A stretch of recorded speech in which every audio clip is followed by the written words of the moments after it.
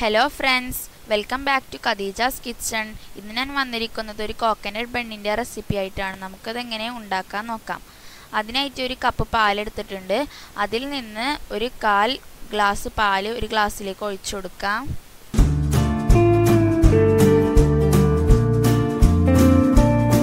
ഇനി ഇതിലേക്ക് ഒരു ടീസ്പൂൺ ഈസ്റ്റ് ഇട്ട് കൊടുക്കാം. ശേഷം ഒന്നര ടേബിൾ സ്പൂൺ പഞ്ചസാരയും കൂടി ചേർത്തിട്ട് നന്നായിട്ട് മിക്സ് ചെയ്തെടുക്കാം.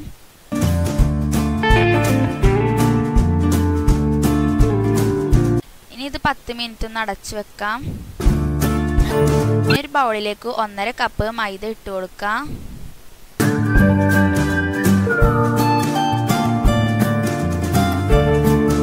ഒരു നുള്ളു ഉപ്പ് ഇട്ട് കൊടുക്കാം. എന്നിട്ട് നന്നായിട്ട് മിക്സ് ചെയ്തെടുക്കാം.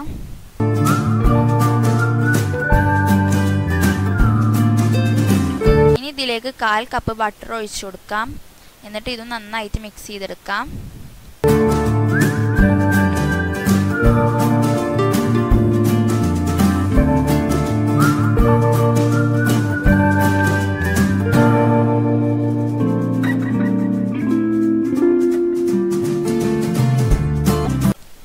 ഇനി ഇതിലേക്ക് തയ്യാറാക്കി വെച്ച ഈസ്റ്റിന്റെ മിക്സ് ചേർത്ത് കൊടുക്കാം. ഇനി നമ്മൾ കൈ കൊണ്ട് തന്നെ നന്നായിട്ട് കുഴച്ചെടുക്കാം.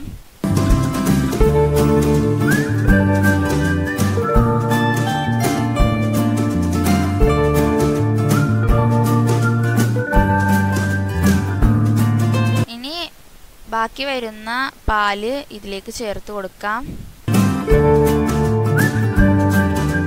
കുറച്ച് കുറച്ച് ചേർത്ത് കൊടുത്തിട്ട് മി കുഴച്ചെടുക്കാം.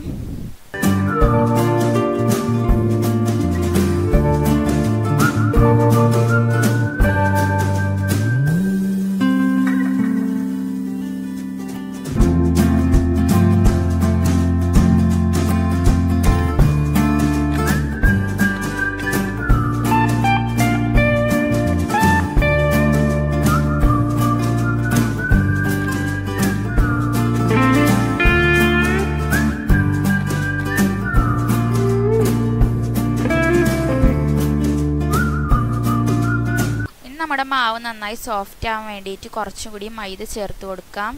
എന്നിട്ട് ഇത് നന്നായിട്ട് കുഴച്ചെടുക്കാം.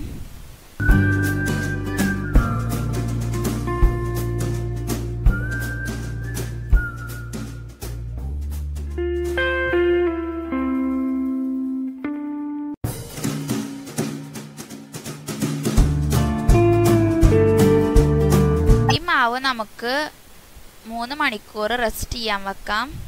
അപ്പോഴത്തേക്കും നമുക്ക് ഫില്ലിങ് റെഡിയാക്കി എടുക്കാം അതിനായി ഒരു ബൗളിലേക്ക് തേങ്ങ ചിരവേത് ഒരു കപ്പ് ചേർത്ത് കൊടുക്കാം. പഞ്ചസാര ഒന്നര ടേബിൾ സ്പൂൺ ചേർത്ത് കൊടുക്കാം. അണ്ടിപ്പരിപ്പ് പത്തെണ്ണം ചേർത്ത് കൊടുക്കാം. ഏലക്കാപ്പൊടി ഒരു ടീസ്പൂൺ ചേർത്ത് കൊടുക്കാം. ഇതെല്ലാതും ചേർത്തിട്ട് നന്നായിട്ട് മിക്സ് ചെയ്തെടുക്കാം.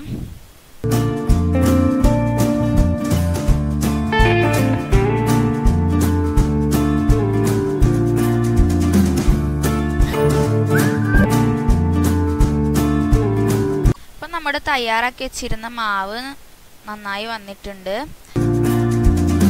ഇനി നമുക്ക് ആ മാവ് രണ്ടായി ഡിവൈഡ് ചെയ്തിട്ട് പരത്തിയെടുക്കാം.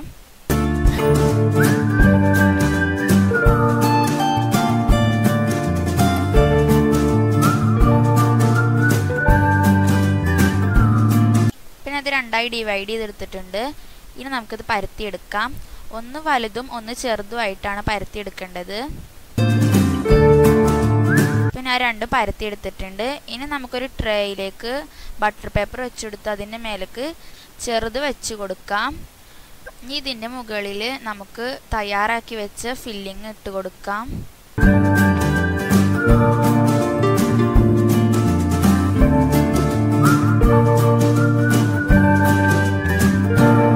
ഇതിന്റെ മുകളിൽ രണ്ടാമത്തേതും വെച്ച് കൊടുക്കാം. ഇതിന്റെ സൈഡൊക്കെ ഉള്ളിലേക്ക് മടക്കി കൊടുക്കാം. എന്നിട്ട് ജസ്റ്റ് ഒന്ന് ഷേപ്പ് ചെയ്തെടുക്കാം.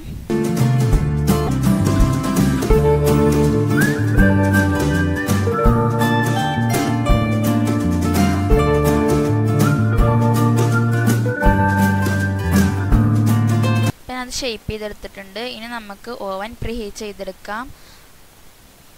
പത്ത് മിനിറ്റ് ഇരുന്നൂറ്റി പത്ത് ടെമ്പറേച്ചറിലാണ് പ്രീഹീറ്റ് ചെയ്യേണ്ടത്. ഇനി നമുക്ക് ഒരു മുട്ട മിക്സ് ചെയ്തെടുക്കാം.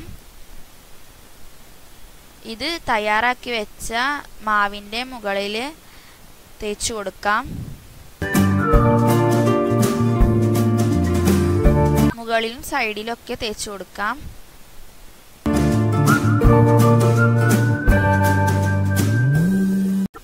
ഓവൻ ഇപ്പോൾ പ്രീഹീറ്റായി വന്നിട്ടുണ്ട്. ഇതിന്റെ ഉള്ളിലേക്ക് ട്രേ വെച്ച് കൊടുക്കാം.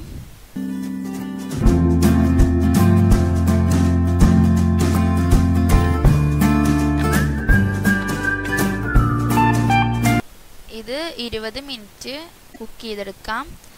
ഈ ഒരു മോഡിലാണ് കുക്ക് ചെയ്യേണ്ടത്. ഇരുന്നൂറ്റി പത്ത് ടെമ്പറേച്ചറിലാണ് നമ്മുടെ ബെന്ന് റെഡിയായി വന്നിട്ടുണ്ട്. നമുക്കിത് ഓവനിൽ നിന്ന് എടുക്കാം.